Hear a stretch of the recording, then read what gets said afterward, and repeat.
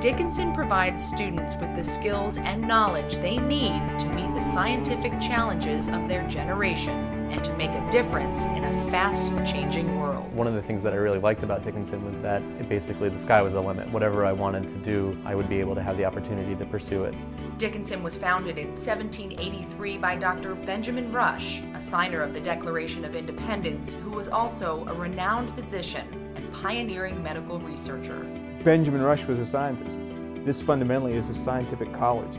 Dr. Rush's revolutionary spirit and commitment to science continues at Dickinson today. It's what we aspire to as scientists, to have a breakthrough, to discover something that works with that revolutionary spirit. If you want to explore cutting-edge fields such as nanoscience, bioinformatics, neuroscience, plasma physics, or environmental science, enjoy state-of-the-art science facilities and labs, use high-tech professional grade equipment, and gain real-world experiences that will give you an edge in graduate school and on the job, then Dickinson College may be the right place for you.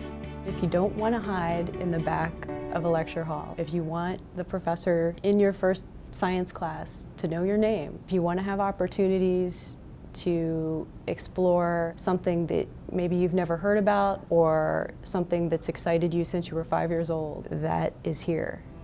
Dickinson students combine rigorous coursework in their major subject with a solid foundation in the liberal arts. Our science students learn to write effectively, think critically, and problem solve creatively by finding connections between disciplines in a liberal arts atmosphere, you're taught to think broadly about problems. And I think that also allows you to see and bring in diverse pieces of evidence that, that people who aren't trained broadly just can't see. I get to take various courses in biology, psychology, and chemistry, so you really get a good, a good well-rounded knowledge of how the human brain works. I was able to kind of mix my interest in diversity initiatives and um, social justice issues and women's health and women's issues with science. I can take chemistry classes and then when I'm finished with the laboratory I can go to the studio, start taking painting classes and maybe one day I'll be able to combine them. Being able to collaborate at Dickinson in different departments has given me kind of the real sense of what it's going to be like in the real world. I'm thinking of either pursuing a career in research or perhaps going into policy work, looking at either science policy, global health policy. Dickinson's new state-of-the-art Rector Science Complex prepares students for 21st century research and work. Um, the new science building is obviously a great example of having facilities that allow research. Um, it allows faculty to do research with students. It's certainly possible sometimes to do that without great facilities, but great facilities really enhance that experience. Stewart and James Halls feature 90,000 square feet of open space classrooms, lab facilities, and shared spaces that encourage students and faculty to communicate and collaborate both in and out of the classroom. The space here is incredible. And I have a student office, I have labs at my disposal, I can come in and use any computer and printer, I can use any of the machinery that I'm familiar with from learning about in class. Offices and classrooms are arranged not by individual subjects, but by research partnerships, joining professors and students from different science disciplines. Dickinson also has a planetarium and observatory, plasma physics, human physiology, and GIS labs. This is state of the art and you feel like you're at the cutting edge. Inside our Rector Science Complex, you'll find high-tech professional grade equipment. Our students begin to use these powerful resources in their very first lab course.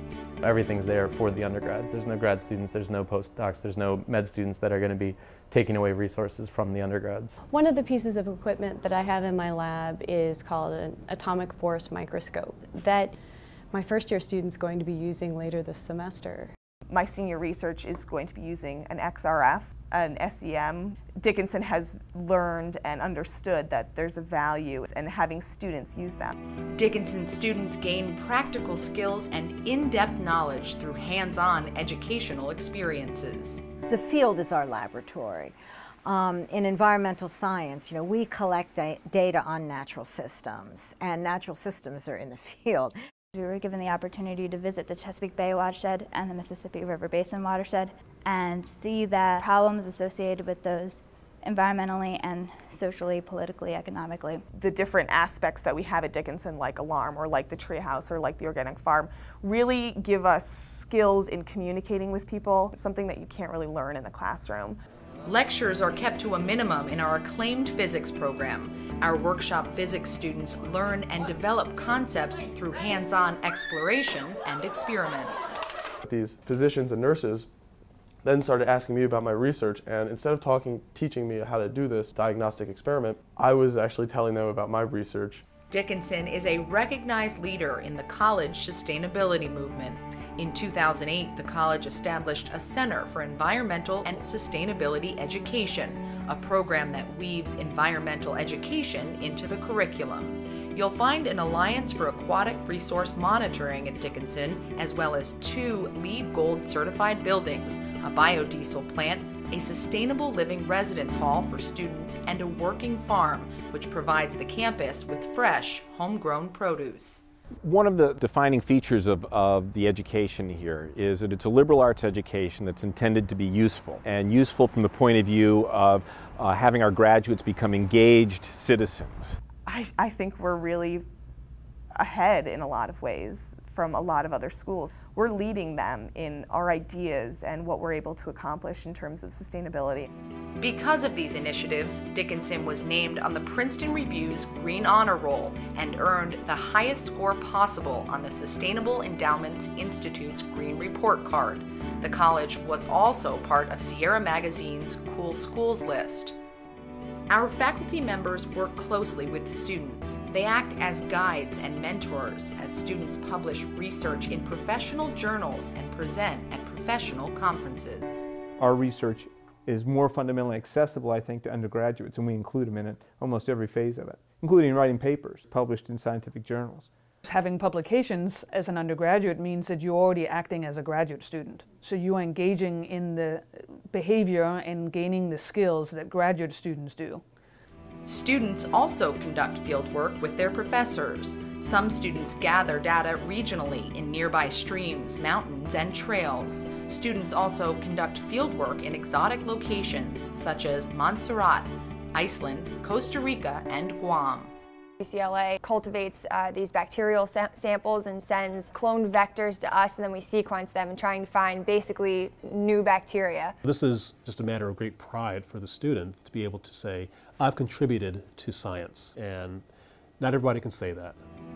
Dickinson College offers study abroad programs that complement our science curriculum because students can take upper level science classes abroad and get credit for these courses in their major, they can study abroad and still graduate in four years.